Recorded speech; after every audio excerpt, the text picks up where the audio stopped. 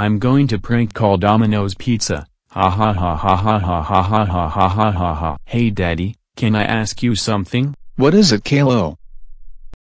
Can I go to Clementine's house for a visit? No, we are not going to Clementine's house today, because you're still grounded for misbehaving at Del Taco. Now go upstairs to your room now or else I sell your shirt to Samster5677.